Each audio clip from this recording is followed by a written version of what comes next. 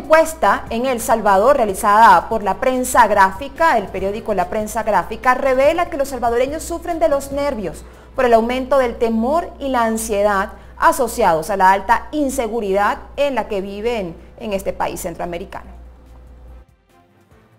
Con síndrome de persecución y con temor de salir a la calle viven millones de salvadoreños, según apunta el más reciente estudio presentado en ese país por la unidad de investigación del periódico La Prensa Gráfica, que entrevistó a final de noviembre a más de 1.500 personas en un sondeo de campo.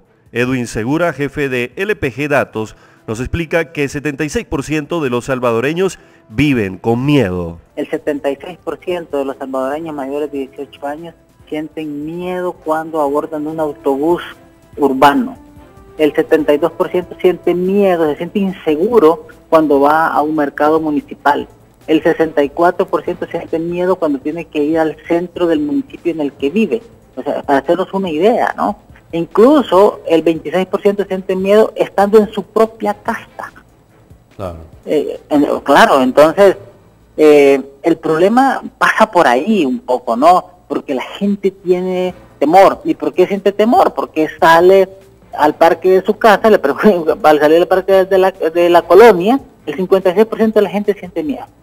¿Y por qué? Pues, pues porque ve que las personas de las pandillas están ahí, andan merodeando, no hace falta de que una persona fallezca o un familiar cercano para, para sentir ese miedo.